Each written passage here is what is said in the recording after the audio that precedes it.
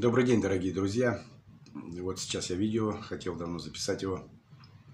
Хорошее настроение – это единственный вирус, который хочется подхватить. Но о коронавирусе я не буду снимать, и так много сказано. Мое личное мнение, точнее не мнение, а точка зрения, что это все придумано. И многие об этом говорят. Потому что в мире есть много других заболеваний, от которых постоянно умирают люди. Допустим, возьмем грипп. Простое заболевание, вроде бы кажется, но в мире за год умирает 5 миллионов человек, по-моему, такая статистика. Ну, в общем, она статистика неутешительная, какая разница, сколько умирает.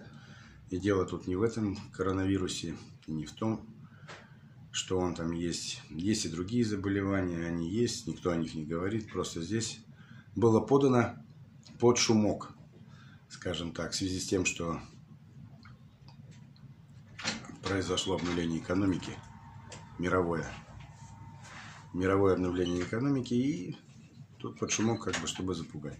Но я скажу так, что в России как картофель был, так он и будет, как хлеб был, так и будет, ничего там не поменялось, как соленья были, так и будут, вернемся просто в исходное состояние, вспомним о погребах и все такое. Дорогие друзья, смотрите мой канал на ютубе. Канал называется Николай Кныш Путешествия автомобили. Ставьте лайки.